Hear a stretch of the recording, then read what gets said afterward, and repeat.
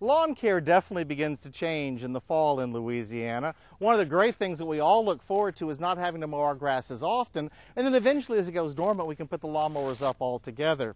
Some things that you don't want to do this time that you don't want to disturb the grass any, so don't fill over it, don't do any aerification or anything that might disturb it, and don't fertilize this time of the year. You're liable to make the grass more susceptible to cold if you put fertilizer out like, like this, and you also make the grass more susceptible to diseases. Now the most notable disease disease that we have this time of the year is brown patch. You can see some brown patch symptoms right here. St. Augustine grass, by far and away, is the most susceptible to brown patch, and it's especially prevalent when the temperatures are mild, daytime highs in the 60s and 70s, and we've been getting abundant moisture like rainfall moving through the area.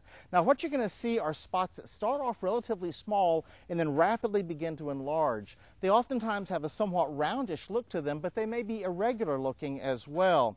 And if you look carefully, you may actually begin to see a sort of a, an orangish or yellowish area right around the outside outside where the fungus is most active.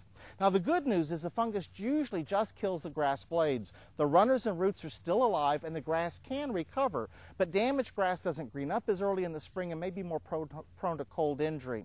So if you see these symptoms in your yard, stop by your local nursery or garden center. There are a wide variety of products that work very well on this disease. Purchase one of those and use it per label directions to stop the damage from getting any worse.